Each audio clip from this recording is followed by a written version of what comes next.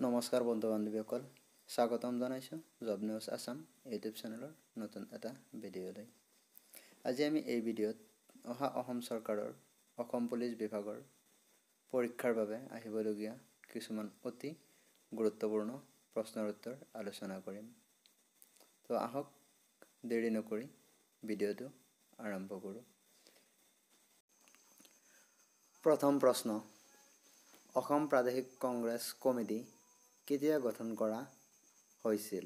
উত্তৰ ঊনৈছশ একৈছ চনৰ পাঁচ জুন তাৰিখে। ঊনৈছশ একৈছ চনৰ পাঁচ জুন তাৰিখে অসম প্ৰদেশ কংগ্ৰেছ কমিটি গঠন কৰা হৈছিল। দুই নম্বৰ প্ৰশ্ন গান্ধীৰ লোণ আইন ভংগৰ অভিযানত অসমৰ পৰা সহযোগ কৰা ব্যক্তিজন কোন আছিল? উত্তৰ লীলাধৰ বৰুৱা। গান্ধীজীৰ লোণ আইন ভংগ অভিযানত অসমৰ পৰা সহযোগ কৰা ব্যক্তিজন আছিল লীলাধৰ বৰুৱা। তিনি নম্বৰ প্ৰশ্ন বদন বৰফুকনৰ অধীনত অসমলৈ অহা মান সেনাৰ সংখ্যা কিমান আছিল? উত্তৰ ছহাজাৰজন বদন বৰফুকনৰ অধীনত অসমলৈ অহা মান সেনাৰ সংখ্যা আছিল ছহাজাৰজন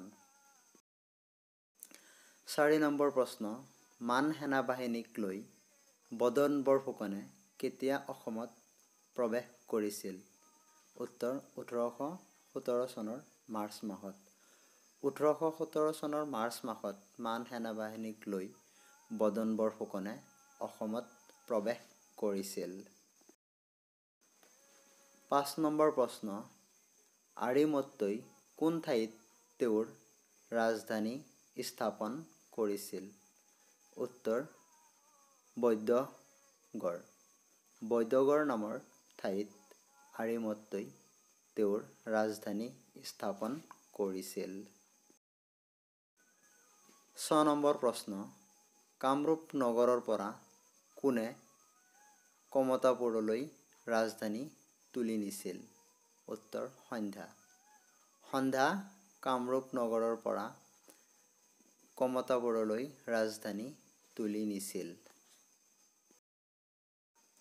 সাত নম্বৰ প্ৰশ্ন প্ৰথম অসমীয়া পষেকীয়া কাকত জোনাকীৰ প্ৰথম সম্পাদক কোন আছিল? উত্তৰ চন্দ্ৰকুমাৰ আগৰৱালা। প্ৰথম অসমীয়া পষেকীয়া কাকত জোনাকীৰ সম্পাদক আছিল চন্দ্ৰকুমাৰ আগৰৱালা। আঠ নম্বৰ প্ৰশ্ন ভৱেন্দ্ৰনাথ শইকীয়াই তেওঁৰ উপন্যাস অন্তৰীপৰ আধাৰত পৰিচালনা কৰা অসমীয়া চলচ্চিত্ৰখনৰ নাম কি? উত্তৰ অগ্নিস্নান।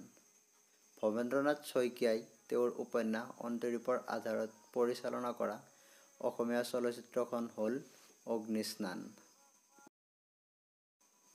ন নম্বৰ প্ৰশ্ন কোনখন উপন্যাসৰ বাবে বীৰেন্দ্ৰ কুমাৰ ভট্টাচাৰ্যক জ্ঞানপীঠ বঁটা প্ৰদান কৰা হৈছিল। উত্তৰ মৃত্যুঞ্জয়। মৃত্যুঞ্জয় উপন্যাসৰ বাবে বীৰেন্দ্ৰ কুমাৰ ভট্টাচাৰ্যক জ্ঞানপীঠ বঁটা প্ৰদান কৰা হৈছিল। দহ নম্বৰ প্ৰশ্ন। অসম সাহিত্য সভাৰ প্ৰথম অধিৱেশন ক'ত অনুষ্ঠিত হৈছিল? উত্তৰ শিৱসাগৰত।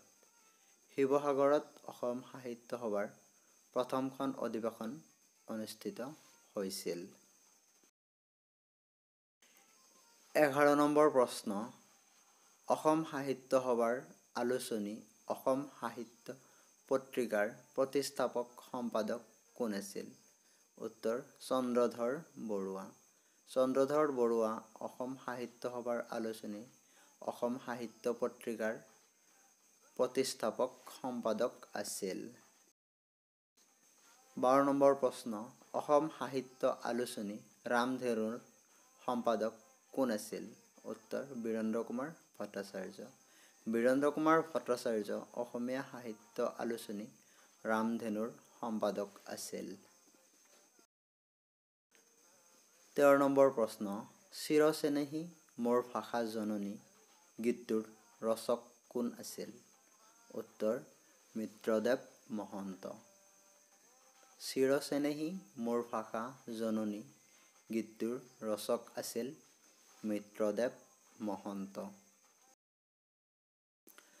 চৈধ্য নম্বৰ প্ৰশ্ন কোনে প্ৰথমে অসম উপত্যকা সাহিত্য বঁটা লাভ কৰিছিল?